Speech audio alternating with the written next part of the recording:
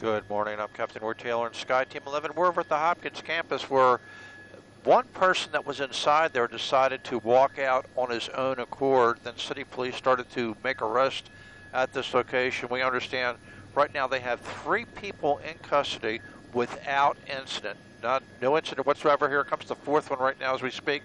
They're getting ready to put them into transport vehicles in the rear of the location here. But so far, city police have been able to handle this without any major incident. There's been no fighting. Uh, it's all been peaceful. Uh, and here's the last individual right now that's coming up uh, to the transport vehicle that has been taken into custody. So this should be wrapping up rather quickly at the campus. We're still trying to get more information, but for what we have on the ground, we're going to send it down to the ground with Megan Pringle, and maybe you can update us on more. Megan.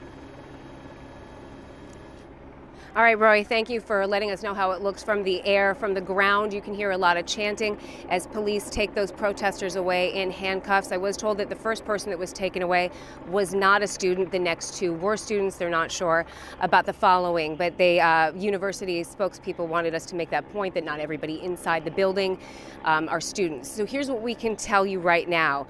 This is happening in Garland Hall, which is that building that you um, see where police have been pretty much all morning long.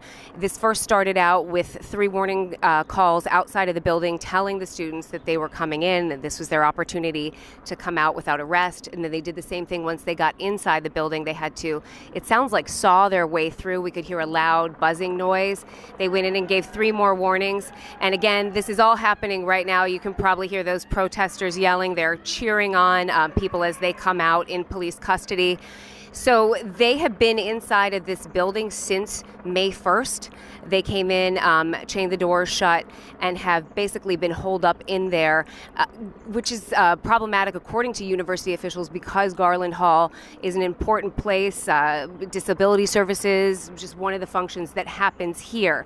And um, at this point, we have been told that peaceable protests started in early April. This was all due to the um, implementation that's going to happen with um, Hopkins having their own police department. Students um, are demanding that that doesn't happen, and that's when they came and started doing sit ins in early April. But then on May 1st, things took a turn when they started chaining themselves inside of the building. So the situation now appears police are in there. It should be wrapping up pretty quickly, but we will stay out here and keep you posted. Jason and Mindy, back to you.